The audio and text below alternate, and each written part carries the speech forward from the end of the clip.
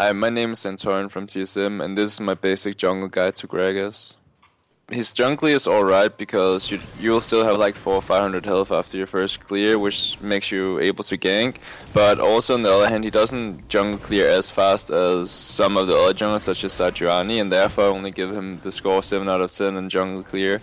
But when it comes to ganking in solo queue, his ganks are really really strong. Like at level 3, his gank is really strong because you can body slam flash so you you will hit him with body slam like every single time, and then you can follow up with a slow with your barrel roll, and that's why it's really really hard to avoid the ganks. And if you've ganked him once and you burn flash, but you didn't kill him, the second you hit level six, you can just gank him again with body slam ultimate, and there's no way you can escape. So therefore, I give him eight out of ten in ganking.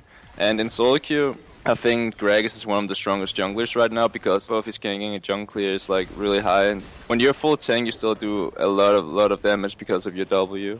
So on Gragas blue side, always start on Gromp because your bot lane will normally want to do the golems, and therefore it's just better for you to start on Gromp and have your jungle leash for you. And um, after that, I do blue because you want to get some mana back, and then after that, you can do red. And then after red, you will still have like five or four, 400, 500 health. And then you, if you do scuttle, afterwards you'll be at like 600, 700 health, and you'll have vision for your team in the in the river. And then because you're in the river, it's really easy for you to gank either bottom mid lane if the opportunity arises. And therefore, I use this jungle path. So on purple side, Gragas jungle, you. Basically do the same thing because you still want your bot lane to have Gromp for themselves, so you start on golems, so you can get a leash from your top lane, and after golems, you do red, and then after red you do blue, and then again you'll have the ganking pressure when you do Scarlet number like in the river, and some of the lanes are always pushing in solo queue. Like either mid lane or bot lane will 90% of the time push, so there should be opportunities for you to gank. So in Gragas, I do armor quints, then I do health scaling yellows, and then I do Magic's blues if we're against AP, either if we're against AP jungle or we're against either AP mid and AP top. And if they don't have those scenarios, then I would do 5% cooldown reduction instead of most of my magic resist. And then I do attack speed in reds because I want to make sure that my first clear is faster than if I did, like, for example, magic penetration because that would make my clear slower. On Gragas, I do 2190 masteries because I want to have the early pressure in the game. So you want to be able to clear faster, and you also want to have the gank setups where you do more damage. So if you did 921 you would not clear as fast, but you would be tankier later in the game. But I, I value early game higher than late game. So on Gragas, I either start with putting upon either Q or W, and I do W if I start on Gromp, and I do Q if I start on Golems, because on Golems it's nice to have the AoE from the Q, and on Gromp it's nice to have the reduced damage plus more damage to one target with W. So I started, if let's say blue side, I started with W because I start on Gromp, then I do Q after to kill blue faster, and then I do E as number three. And then after first rotation, I do Q max into W second max.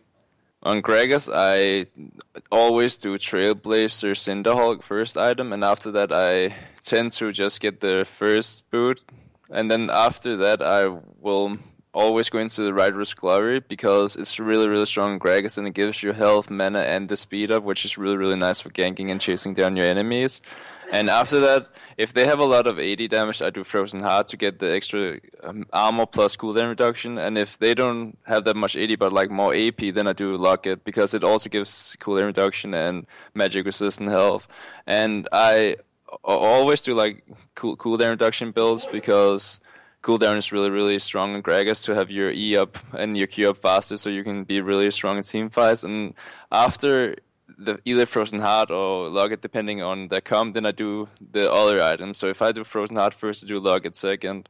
And after that i normally upgrade my boots to merc treads okay so there's only one scenario where, where i don't do merc treads and that's if they have full AD composition and then i do ninja tabis but if they have like one ap damage threat or something then i always want to do merc treads because of the tenacity and after that i tend to do Thornmail because the AD carry from the enemy team will always do a lot of damage, like because we are really far into the late game when you get your four, Thornmail. So you you'll be able to deal with that guy way easier when you have the Thornmail because he, he literally can't kill you. You can easily one one him when you get your Thornmail spike. So when you're ganking on Gragas, you normally want to gank the lanes that are pushing towards your side of the map because then they are in danger of getting ganks because like they're closer to your turrets. So when you gank them, they'll have to run like a long way to get back to their own turret. So you have a lot of time to like kill the enemy. And I normally try to gank a little free where you start off with body slam into them and then you can Q right after to slow them down and then W to do a lot of damage. And it's a really easy rotation, and the body slam is really easy to hit. And if you know the guy doesn't have flash, you can always body slam, and then in the last second of your body slam, you can flash, and then you will still hit them with the body slam damage plus knock them up. And after level 6, where you have your ultimate, if you know that a guy doesn't have flash on the enemy team, like let's say the mid laner is Orianna and you ganked him at level 4 and he burned flash but you didn't kill him, then when you hit level 6, you can just body slam into him and ulti him back into your own teammate, like your mid laner, and then he'll die like every single time unless you get counter ganked. And even if you get counter ganked, you should be able to win the 2 vs 2 because he should die instantly. And that's why I think Greg is like a really strong jungler because the level 6 ganks, they like, you can't even dodge the ganks if you don't have flash up. When you're team fighting with Greg, you want to make sure that you can like keep your AD carry safe. And if you like, okay, let's say a team that you have Kog'Maw and they have, let's say, Vayne or whatever, and you if you can protect your AD carry, he will most likely be able to do more damage to the enemy team. And if you see a scenario where the their AD carry or their mid lane is really up in front, then you can always go for the body slam into them, ult them back to your team. But normally you want to hold your ultimate as long as possible. And when you see an opportunity where you can like ultimate either the entire enemy team back and kill that one guy who's in front, or you can ultimate one of their carries into your team. That's like what you want to do in every single scenario. And if you if you press your ultimate early and you miss everyone, it's it's a really huge thing because if you don't use your ultimate at all, they're still really afraid of the ultimate the entire time, and therefore they'll not be able to do as much damage because it's just like a huge threat that they have to deal with, even if you're not even using the ultimate.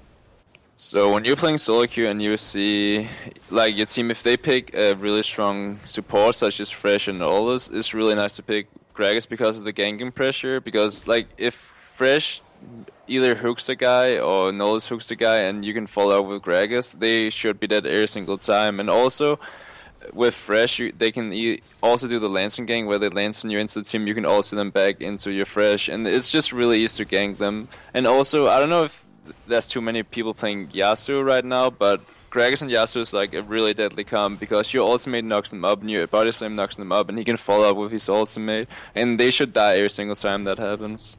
So a really cool thing you can do with Gragas is that you can press your body slam, you can Q, you can barrel while you're in your body slam, which is like you can do EQ and it's like really fast animation because like I would say that like body slam, you should be able to body slam then Q afterwards, but not like in your body slam animation because I feel like it's really really strong and you can get a lot of burst out by doing that. Thanks for watching this guide. Make sure to check out my guy, all the guys here at lolclass.com and follow me on Twitter, Centaur and LOL.